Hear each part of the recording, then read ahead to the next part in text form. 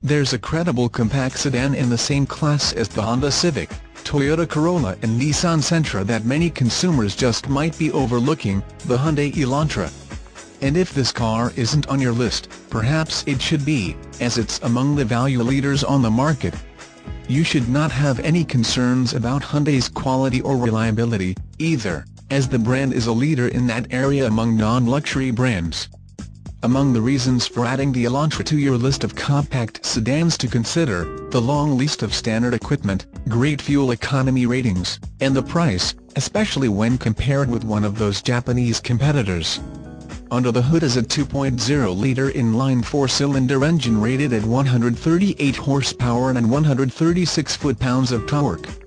That compares with 140 horsepower for the Civic and Sentra, and 130 for the Corolla.